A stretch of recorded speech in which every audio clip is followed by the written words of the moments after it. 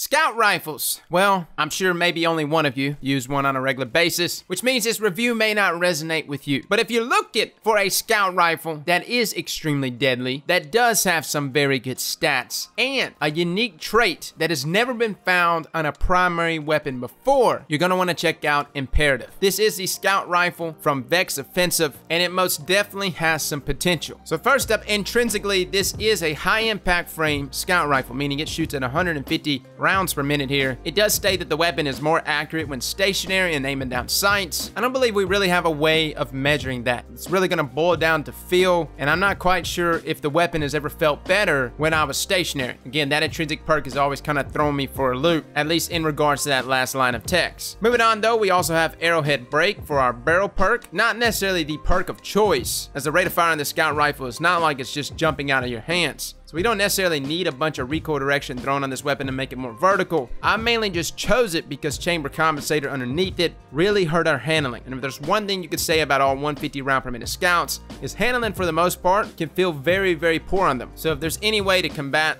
that slow handling speed, I would definitely take that option in your barrel perks. This weapon also comes with accurized rounds for that bump there in range. Underneath it though, it also comes with extended mag. Not necessarily the perk to go with in something like PvP, but not a bad one for PvE, as it throws that magazine size up from 13 to 16. Now the trait here, that does make this weapon pretty unique, and the whole reason why we stopped everything what we did today to review this weapon is no distractions. Aiming this weapon for a short period reduces flinch. Now, this is a trait found, I believe, only on Beloved. I think Beloved, the sniper rifle from the Menagerie, is the only thing that can roll with something like no distractions, which is a great trait for something like a sniper. You're aiming down sights, you're normally very prone to receive flinch when taking fire. Something like no distractions is a great trait to combat whatever flinch you may be receiving, thus resulting in you still landing the crit. Being placed here on a scout rifle is extremely unusual. So no distractions guys, when you aim down sights, it takes approximately like a second and a half for that perk to activate. Now you can see that at the bottom left end of your screen, no distractions actually pops up. So you can visibly tell based on the buff there that that perk is at work. Now before we move into the effectiveness of that trait, the final trait in this column, which can't be overlooked, is explosive payload. I don't know how many of you have ever used a 150 round per minute scout rifle with explosive payload, but if you're looking for the ultimate flinch machine, this is it, okay? Any long range engagement you get into, the enemy in front of you is experiencing a roar of fire in their face with explosive payload going off all around them and simultaneously getting hit for a whopping 68 damage per crit, which kind of sneaks up on them. And it also freaks a lot of people out. Like normally in a lot of my gunfights today, people take like one shot of explosive payload from a 150 round per minute scout and they just take off running. Now, the effectiveness of something like no distractions. Is this a trait worth using considering you have to wait a second and a half for something like this to activate? I wasn't necessarily stopping and relying on no distractions to proc before going into a gunfight. I more or less treated it as if it procs before this gunfight starts, great. If it doesn't, then by God, I hope the scout rifle can handle this flinch from whatever weapon is popping me in the face right now. And normally, for the most part, no distractions handled flinch extremely well, like with or without no distractions. But this is a side-by-side -side comparison of what the scout rifle experiences when it receives oncoming fire without something like no distractions active. And now this is the clip of how the scout rifle handles flinch when receiving oncoming fire with no distractions. A nine day difference and something that can probably keep you alive in a gunfight if you are prepared to not combat the flinch. And and what I mean by that is you need to be very conscious of this perk when it activates. Normally when you receive gunfire from an opponent, you're already moving your joystick or your mouse in a way that is going to combat whatever enormous amount of flinch you are about to receive, especially on a weapon that has the zoom and magnification that the scout rifle has, similar to something like a sniper. And so if you know you're about to receive fire, you're immediately going to be jerking in certain directions to maintain accuracy. What you're going to have to relearn with something like no distractions, considering that it almost makes that flinch flinch non-existent is to just keep aiming, okay? And I know that sounds crazy, but I had to like be like, yo, okay, I got no distractions active. Calm the hell down, Cross. Just aim the gun. You ain't gotta jerk it left or right this time. Now, of course, this changes whether or not you have the perk active, which means you gotta be very aware when that buff goes live at the bottom left end of your screen. Pretty much as soon as it goes live, that 150 round per minute scout rifle is ready to rock and roll. You got the ultimate laning Larry weapon. There's been lots of pulse rifles in our hands and other scout rifles, Jade Rabbit, Polaris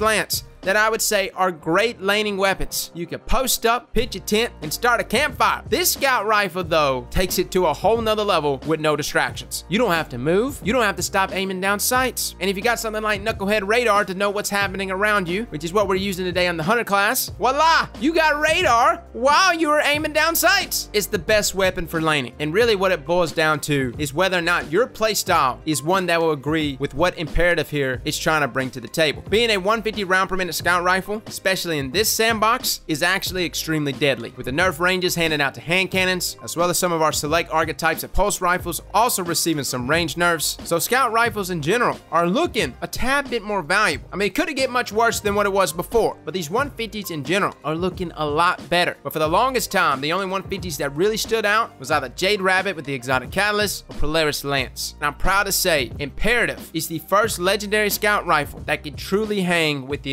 exotics. It's got a 0.8 second time to kill inside of Crucible. It can 3 crit from a hell of a distance. It's got some good base stats, the ability to roll explosive payload with no distractions. The weapon has definitely got potential. Now, let's look at the random rolls of this thing. What are the rolls you should be looking for? Because there's some pretty good ones here. First up, I really like the no distractions explosive payload thing. You're able to operate on both sides of the spectrum. The ability to combat flinch at all times and the ability to deal flinch. It's an amazing combo. But some other things. You also got subsistence and rampage. Can't overlook subsistence in this sandbox, especially with ammo finders in general getting a bump there. Finding ammo shouldn't be a problem, and with subsistence having double the reserves, combine that with something like rampage for PvE activities especially, this will give you the ability to kind of just sit back and pick targets off. Now that's not to say that's not a good role for PvP, just understand when it comes to like two tap potential, transfiguration, which is one of the only scout rifles in the game that can roll with both kill clip and rampage on the same weapon, can barely two tap with both of those procs. So if you're looking for a combination of lethality here, maybe multi kill clip can get you up there at times three, but the likelihood of that actually happening in something like PvP is very slim. Now, another trait combination that I was actually considering was no distractions with snapshot. Snapshot for the immediate aim down sights, which gets us closer to that 1.5 speed. Now, I considered it, but I really don't think it's a good one. Considering that aiming down sights is not something that actually takes a long time, you're still gonna be sitting there and waiting for a second and a half. And this isn't a sniper. Like, obviously, that would be perfect for a sniper, right? To me, guys, the role that you saw me using, it doesn't get much better than that. Well, fellas, that is our review here for Imperative. Try it out for yourself. Huge shout out to Murky for letting us get on your account. I actually sent out a message in Discord looking for this exact role, and no one but this man had it, which is amazing. Thank you so much, Murky. Fellas and ladies, thank you all for coming and watching, and as always, slap that like button like your mama told you right.